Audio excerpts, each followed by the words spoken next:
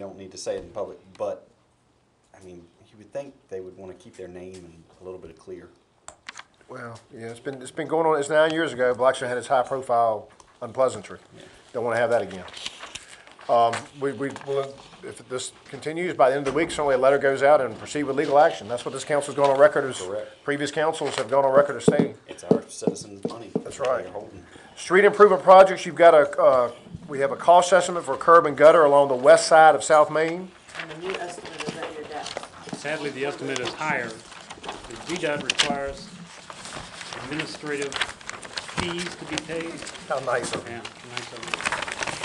We have submitted this as a preliminary application with due July first. Before we file final application, which I believe is due in August or in September, um, you take a look at it, and Well, I mean, I marked several things by looking it over it this weekend. VDOT review fees of fifty-seven thousand dollars. and then. You got relocate road signs for nine thousand dollars. And a materials That's nine notebook for signs. eighty-five hundred.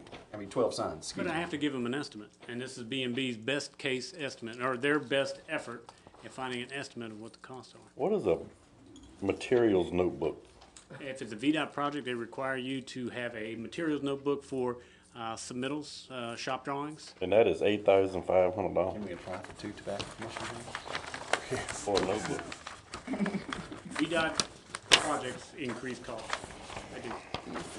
Do we require the materials notebook? No, VDOT requires it.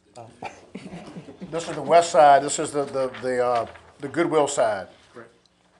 One thing you said the last meet, uh, a couple meetings ago that just haunts me, and I know the answer is right away, but I would hate for this council to get a grant and to build what you call the sidewalk, sidewalk, sidewalk to nowhere where people still walk on the grass on the other side because they don't wanna go have to cross Main. That's, that worries me. But I also know you've got no place to go in in front of It's a noble project. and other and places.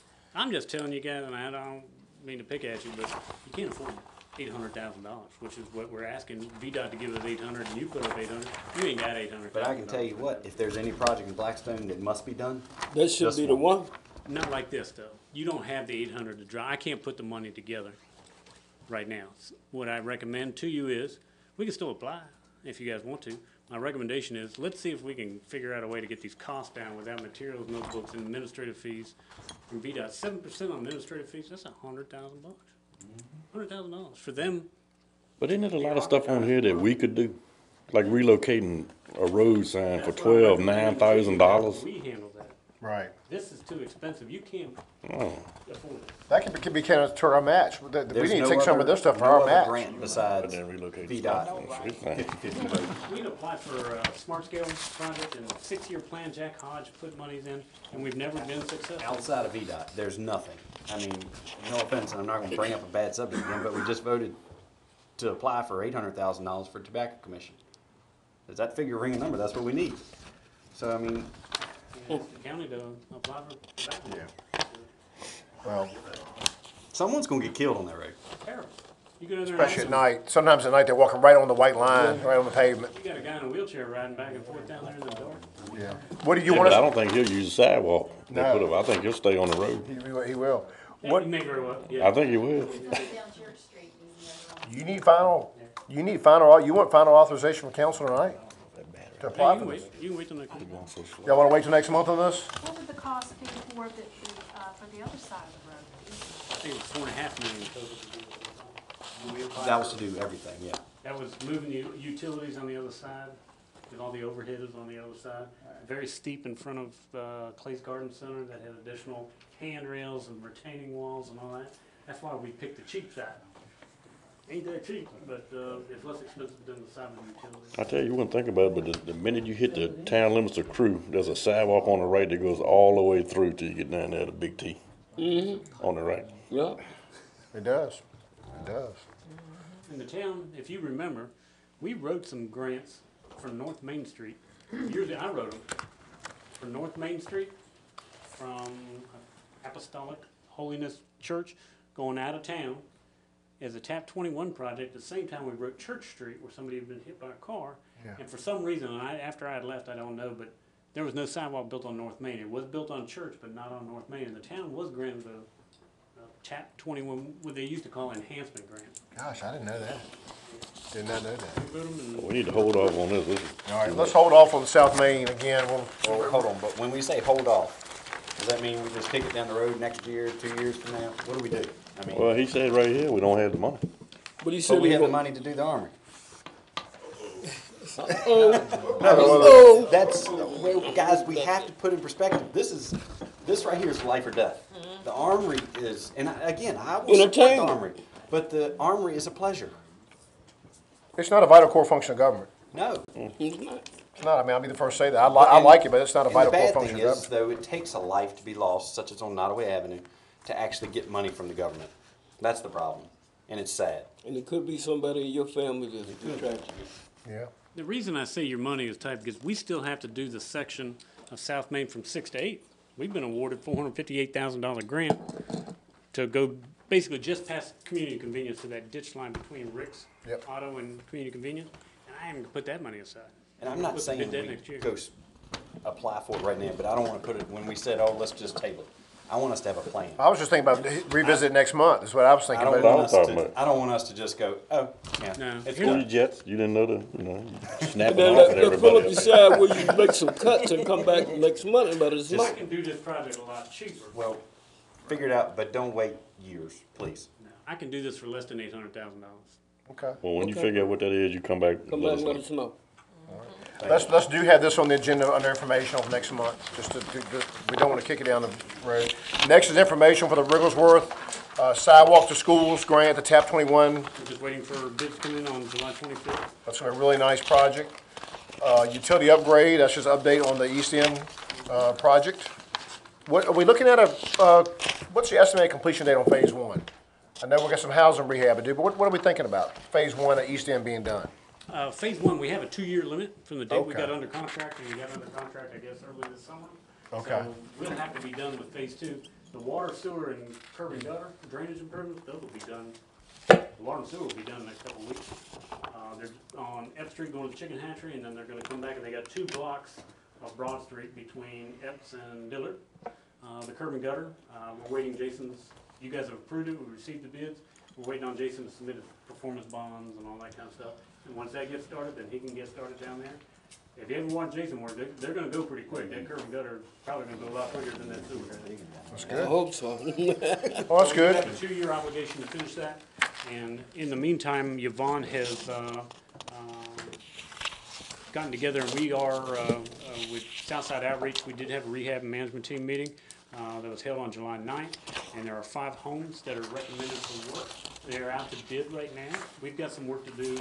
Uh, we did a survey on the, the house on Eubank Street. We, uh, have some asbestos we have to get I think they went, the asbestos guys were in the area. I think one of, I wanna say yesterday. They were in the area Saturday, and I forgot to tell Yvonne, uh, to call them, and therefore, we had, uh, a little conference. I don't think the asbestos guys were actually physically here. I think some of the property owners had coordinated with Yvonne to do that. My bad, so we're gonna try to get on Friday afternoon to get it. I ran into somebody I hadn't seen in a long time from Crewe, Robbie Williams, who works for B and B, spoke very highly of town staff. I ran into him at the Richmond, Richmond's Creamery Saturday night. I, I didn't know he was working B and B. He has He used never. to work for VDOT. Yeah, and then it, DEQ. Yeah, yeah, good guy, good guy. Uh, rental property maintenance, we sure took care of that tonight. Uh, weatherization, we've got a home on Carver Street that's been put on hold. Title issues. Okay. So I think we're gonna hold on that one for now, and then, uh, I think we're gonna try to look at another house maybe on Fifth Street. What, in, in the budget that took effect July first, how many, we had, how much money set aside for weatherization? Put fifty in the budget, we had thirty-one left from last year. Eighty-one is available. I haven't put the fifty in yet. Okay. We still gotta put the cash in All there, right, but the budget okay. says fifty. So that might do us two or three homes this year, or maybe more, depends on the needs. As long as you don't do a full rebuild. That's what I'm saying. Right.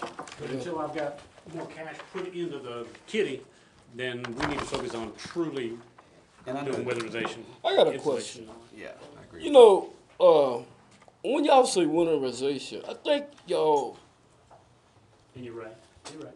right, you know what I'm saying? Go over. Yeah, I think y'all go over. Here's the problem, we wanna do insulation, and we wanna get people's light bill down, that's the whole reason we do anything. People take money from our light department, and when people get seven hundred dollar light bills, let's put a better heating system, let's get two hundred amp service, let's put insulation. The problem is, if you remember the house on Stoke Street, that was a weatherization project, we took the siding off and. went. Oh, oh crap. There's nothing there. Eating, yeah. I Sixty mean, grand. The house's stock is worse than we, necessarily think. When you look at them from the outside, they don't look too bad. You get up under them, yikes. And, um, that's how that one that we started, and we paid for that with windows. We'd love to replace windows. two or three of them a year yeah, and- it'd be Right. But I think what happens if we get into them, do we wanna sit back and say, well, we're gonna put insulation in this house, but the roof leaks like, You can do it halfway. Right. you know. Yep. Uh, Mr. Tom Taylor has a question. yeah. Thank God you fixed that one on Harris Street. I'm really happy. I say a prayer every day thinking, I, I do, I, I- I express, I am grateful every day for that. I do have, uh, one issue that Yvonne, she received proposals for weatherization, the housing inspection portion of it, we advertised. Okay. Uh, we received one response back, and that's the same fellow that's been doing it, Earl Howerton. Love him. And we didn't have it on the agenda, but if you would, uh, allow us to enter into contract with Howerton's Inspection Services, That's not the South Side Outreach Group or two different groups. two different groups? Okay. Same people, two Okay. different organizations. Earl, Earl and Earlene, is it, or Howerton Inspection Services, I entertain a motion to that effect. Well, What is the price? Yeah, What's the I was about to price? say, I we mean, need what, what, there is no price, it's based on, uh, proposal and qualification.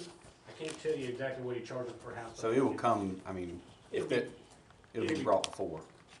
I can't, yeah, I mean, I can come back and tell you it's eighty dollars an hour or two hundred dollars per house or whatever it is. But he's been, he's been lawfully procured. He's met, okay, very good. I entertain a motion to I'll procure. come back and tell you what he charges. So moved. All right, second to that motion? Second. All right, Ms. Jones, a second the motion. This is to, to re-enter a contract, re-enter into agreement with, what's it called? The Southside, Howard Inspection Services. Would it be crazy to say at the same price that it had been previously? I don't have any expectation, but yeah, I'll sit down talk to everybody. Just make sure that we get going to report to council on the price, and we, all in favor say aye. Aye. Opposed? The ayes have it. We'll roll through this. Under new business, you have a grant from the Byrne Justice Grant Program, For the police department for equipment, um, three thousand ninety-four dollars. asking authorization to execute in, I looked everywhere. What is, what kind of equipment? I saw Doesn't nothing. say, Use his radar, isn't it? it doesn't say specific, but it- if you read the agreement, it does say that specifically that, uh. The this, uniform. uh, this, requirement. uh, Oh, it's fast. Specifically approved purchase item, so I don't know what you want to spend the three thousand dollars on, but it's, uh, Byrne grants are usually for equipment purchase. Yeah. Well, I move yeah. to accept the grant. Second. Motion made and second to accept the grant for three thousand ninety-four dollars. All in favor say aye. Opposed? The ayes have it. Uh, new business number two, I'm trying to find it. It's a- a This is a. DMV, uh, renewing the DMV Select Agreement, which the town manager recommends approval. That's DMV here at our town office. A couple changes, um, they, uh, from now on, out-of-state dealers who send their title work to be done here, the DMV has been paying to send it back, now that will no longer be the case, we'll have to come up with a policy. And we do get some out-of-state dealers that send us an appreciable number of tags if they're, you know, close to the Virginia line, and they'll now have to pay for the shipping, the UPS, the uh, FedEx. Um, The other item, and I didn't know this, um, but we are now allowed by this agreement to title and do the title work on our own vehicles. That makes sense. I read that. That- That's, I'm glad they did that. No need for us to have to drive. Can't say we hadn't already done so. Good. Ask for forgiveness. I think we're approved now. All right. Uh, I entertain a motion to approve the DMV agreement that we do every year. Second. Motion been made by Ms. Hasbrook, second by Mr. Morgan. All in favor say aye. Opposed? A motion seven zero. Uh, the town manager under new, number three, under new business, is asking that we adopt the capital improvement plan, which is ambitious. Very. Obviously, it's not something we ever really get around to doing all of the things, but he's got it in the budget, which I I do. commend him for. There's a Um, purpose for it, and the, the reason we're asking you guys to, to specifically approve this thing is because several of our grant applications specifically require us to have it in a- an adopted capital improvement plan. And those are specific to the street department. The other things are, you know, town purchases, but when we go to VDOT for a 50-50 grant, we have to report that it's in our capital improvement. Under, and I'm just picking, not because of the building, but library, it's got new building, no price on that, but then renovation, and then the next line is upgrade restrooms. I mean, all within, by next year. They were at, those are requests as made by the department. We didn't change the year. Um, even the fire truck, I had recommended twenty twenty-four because we were gonna have one fire truck paid off and another. And Philip Arms and Dion made an appeal. Man, we kinda need that truck sooner than that, so, uh, I think we changed it from twenty-four to just because it's on here 21. doesn't mean we're doing it. So like what you're asking is why would you do new bathrooms if you're gonna rebuild a new building? Right.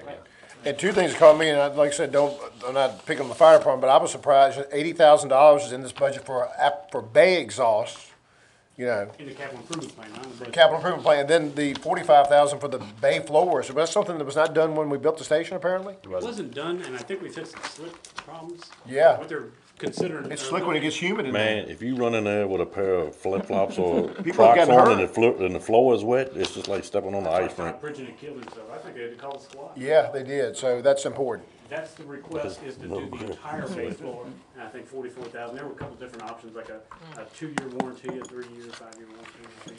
That was Very the good. top side. Do y'all want to approve this for the town manager? So do we- Second, Because the figure is way, it's about nine point two million dollars worth of goodies in there, which are available for public inspection. I'll ask for a roll call vote, starting with Ms. Jones. Aye. Aye.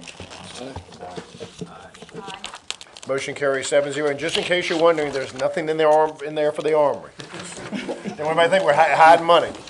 Um, That would be a full, full-born discussion. Uh, under mayor's minute, uh, there's no committee referrals. Under mayor's minute, the only thing I wanna do is continue to, uh, say good things about the, the fire department had one of its most elaborate funerals, I think probably since the, the Jimmy Ragsdale funeral was top-notch. It was well done, and even though you didn't know Buzz that well, if you didn't know Buzz that well, to hear that siren go and the bagpipes at the same time was probably one of the more moving moments I can remember in a long time. We have had a lot of, lot of, uh, too many pretty funerals this year, in my personal opinion, just, just, we've had a lot of loss this year. Um, I have nothing else other than, if, Ms. Madam Clerk? Real quick, if you wanna read this just for the public's view, because you did skip that earlier in the meeting. Oh, we have a structure at six-ten Broad Street, which is gonna be East Broad Street, scheduled for demolition immediately following the transfer of that property to the Southside Outreach Group, and that's gonna be by mid-August. We skipped that. And that was the request last month, that the town's paying, pays half, and, and Southside Outreach paid half. Correct. This is the building. On the It is tip, gonna of be that, demolished. when you say pay half, that's the cost of the, No, the town is providing demo demolition. We're doing the demo. Okay. We're paying forty-five hundred dollars for the purchase of the property, and Southside Outreach is matching us forty-five hundred dollars. But he said it was only programming time. they're great to work We're using for. them for the Anyone else, uh, Sergeant Maiden has left, anyone else? This is the second part of the meeting where citizens can address council if they wish, or ha- ask a question. Anything you heard tonight? We had some rather sharp exchanges tonight. Yes, Miss Beverly Ames of the Chamber. This, this is an answer to something that we had talked about earlier. Okay, Um, the hometown heroes banners, yes, I did check into that for you. it's in our packet, yes.